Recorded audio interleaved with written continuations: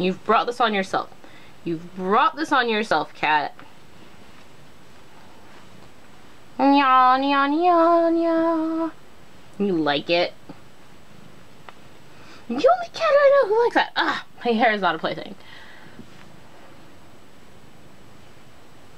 Alright, so welcome to my 6th Friday Reads video, which is likely to be interrupted by this playful cat. so, for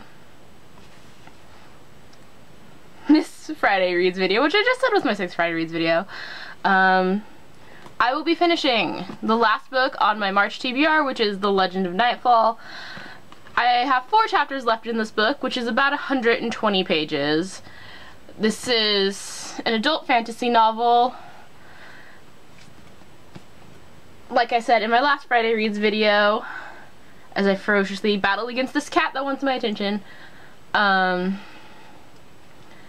yeah. Then also I will be reading 20,000 Leagues Under the Sea. I only got a through a chapter last week, so I want to finish also, oh, 20,000. No, do not eat my book. I want to finish 20,000 Leagues Under the Sea before April starts. Otherwise, I might just stick it on my April TBR. And also, I'm reading Forbidden by Ted Dekker and Tosca Lee, which is an adult dystopian novel.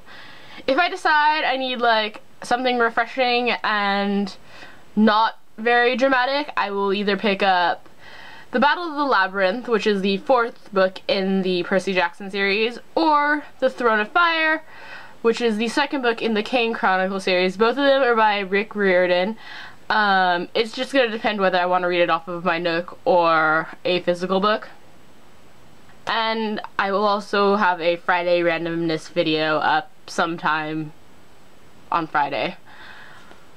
and until Monday, TTYL. As soon as I turned off the camera, this happened.